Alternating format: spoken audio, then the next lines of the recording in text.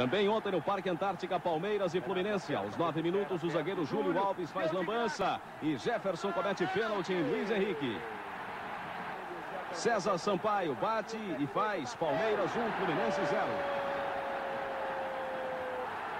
O segundo no Verdão, Dida cruza na esquerda, Jorginho desvia de calcanhar e Amaral manda para as redes. Fácil, Palmeiras 2 a 0.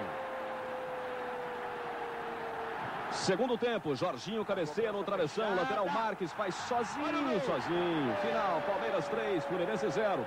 E olha que o Verdão ainda perdeu dois pênaltis. O primeiro batido pelo Luiz Henrique e o segundo pelo César Sampaio.